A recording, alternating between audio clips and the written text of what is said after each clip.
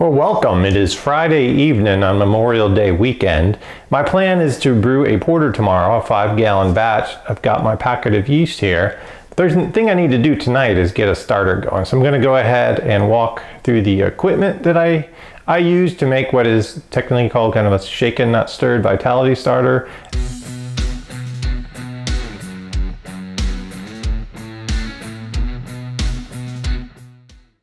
So a quick run through of the equipment and ingredients that I'm going to use to make a starter. One, we've got our pack of yeast. This is just a standard uh, White Labs pack that's got, you know, technically uh, on a good day, 100 uh, billion cells. Um, we're really just looking to get those cells awoke up and ready to pitch. Uh, I've got some dried malt extract. I'm using Pilsen Light, but you could use any dry malt extract. Dry malt extract is a little easier than uh, liquid just as far as weighing it out.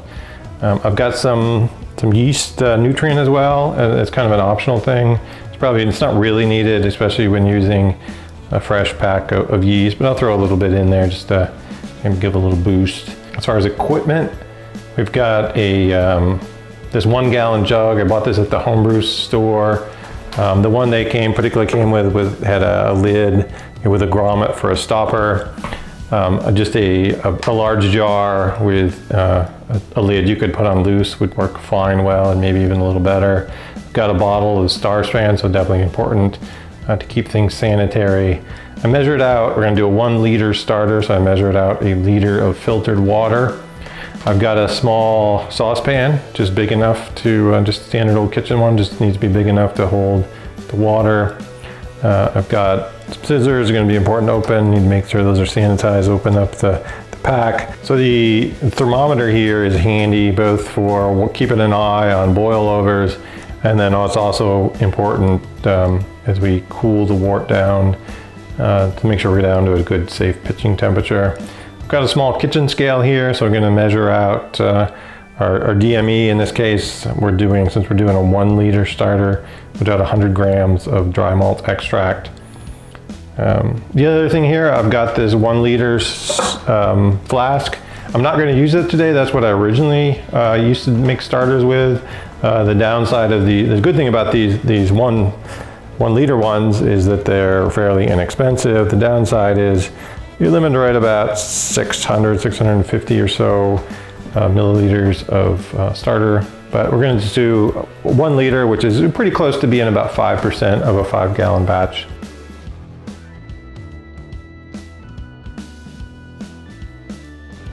We're gonna go ahead and measure out our starter or dried malt extract for our starter. Again, we're gonna need 100 grams dried malt extract. Uh, so the biggest challenge with this is trying to not get powder all over the place. 100. All right. So one liter water is just starting to heat up. I just turned off the heat. We don't want the flame going while we're trying to mix this in. So I like to add it if you find it works best if you at least heat up the water a little bit. But you don't want to get till you're up to boiling because then you got all that steam coming off. Um, it tends to cake up dry malt extract. All right, so I got the thermometer in there. Kind of keep an eye on it. It just started to come up to a boil, so I'm going to go ahead and reduce the heat. I'm going to go ahead and let it boil. Just needs five or 10 minutes. Um, whether it needs to boil at all, it's kind of you know, questionable everything should be sanitized, but I figure the heat steam, you know, at least getting, getting the whole pot all nice and uh, sanitary. So I forgot to add the yeast nutrient with the, so we're gonna do that now. One thing I watch out, sometimes when you add this, it does a little bit of a, you can cause it to foam up like that. So keeping an eye on it. I used to do that several times. Um, I would add it into the boiling um, wort in the flask and it would come out and I would make a mess. All right, so our 10 minute timer is up. We're gonna go ahead and turn off the heat. I've got the sink filled with a little bit of cold water. I'm gonna go ahead and move this guy over there. Ooh. All right, so now we're gonna just move this around a little bit, try to cool it off a little and try to get it down to pitching temperature. So what, basically what I'm gonna do, let this, uh, let this cool water knock it down you know, probably 160, 140 or something, and then uh, get it in a ice bath to knock it down the rest of the way. All right, I started the timer, so we're a little, we're less than four minutes into it. So one option would be just to set it and walk away in some ice. What I've kind of been doing is just, you know, shaking the pot a little bit, stirring the, the water. So the water's starting to warm up. We're down to about 130. So now I'm gonna go ahead and move it into some other um, I'm going to throw some ice in here. Keep it nice and cold. And now the most important part, they wouldn't call it shaken, not stirred if you didn't do some shaking. All right, so I went ahead and set a timer for about, for a minute. Uh, you find it's about what we need. So basically we just want to shake the bejesus out of this sucker. Get a lot of foam, get a lot of air up there. Get it well oxygenated.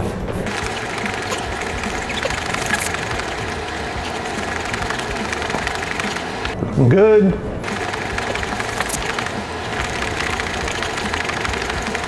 Working up a sweat.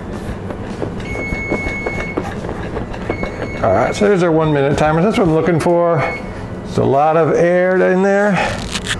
All right, so we have our sanitized pack of yeast.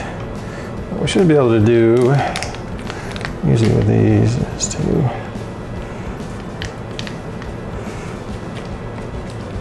squeeze out the inner pack.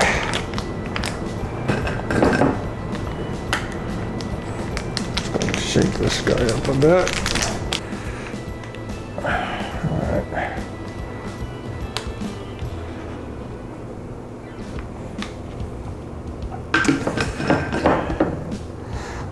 So I got a yeast in there, trying to get that, got a quick shake, get that all mixed up in there. go ahead and put our airlock in place. All right, now we're just gonna leave that in a uh, reasonably warm place. So right now it's about midnight, so I think it's been about four hours since I got this started. We're not, you don't see much. I see a little bit, little signs of some bubbles. Um, I'm seeing a little bit, you know, movement in the airlock activity. Well, good morning. It is Saturday morning's brew day. This is exactly what we want to see. I've got a lot of nice activity going on in our starter. He's bubbling away.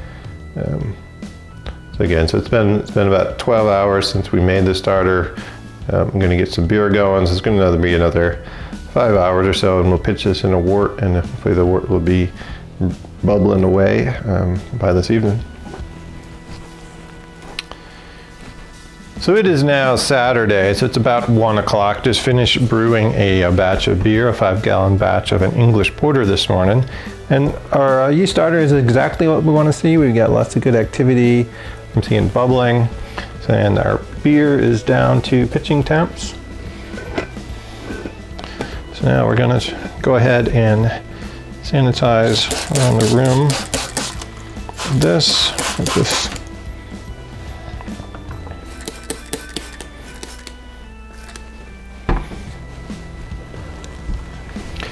Get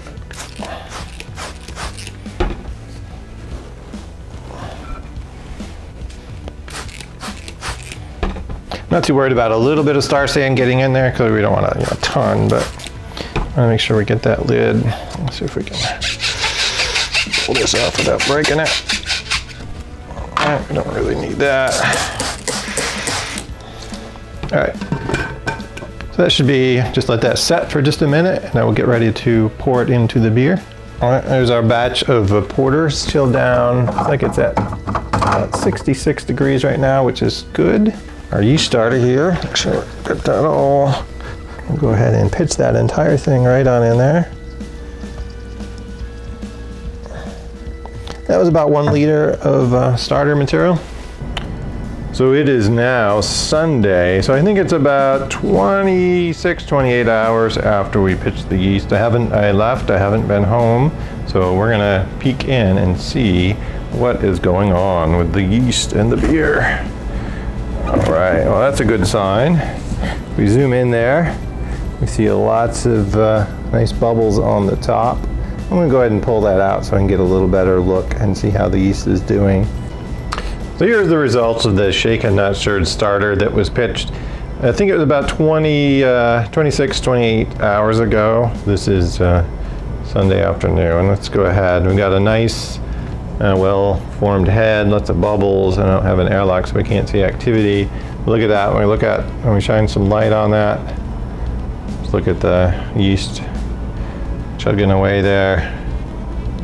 Nice healthy fermentation. So exactly what what we want to see at this point.